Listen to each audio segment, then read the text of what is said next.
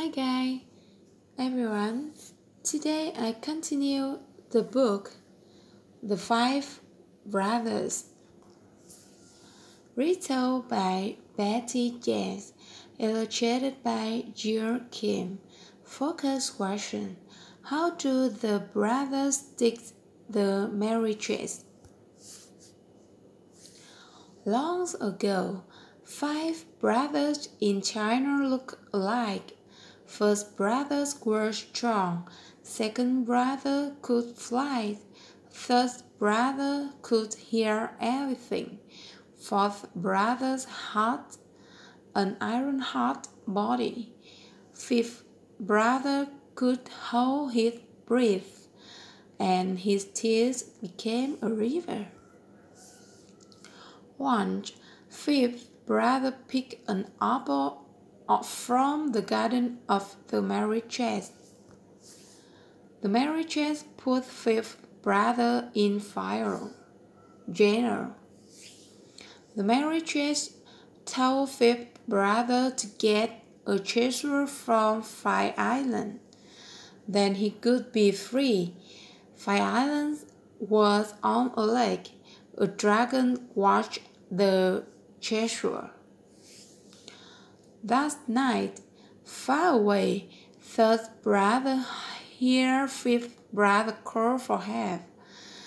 The brothers wanted to have him get the treasure. Second brother flew the brothers to Fire Islands. They hid. Second brother flew to fifth brother he told him the, their plan. The next day, the marriages watched fifth brother dive into the lake. Fifth brother held his breath. The marriages watch was watched as fourth brother led in the dragon on a chase. His blue fire of his iron hot body. He did not fear it. The dragon became tired. The marriages watched first blood toss the dragon on take the treasure. The marriages watched first brother dive into the lake. He did not see fourth brother give the treasure to fifth brother. Fifth brother came out of the water.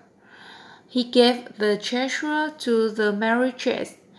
The marriages told fifth brother had many powers. He could not let fifth brother go.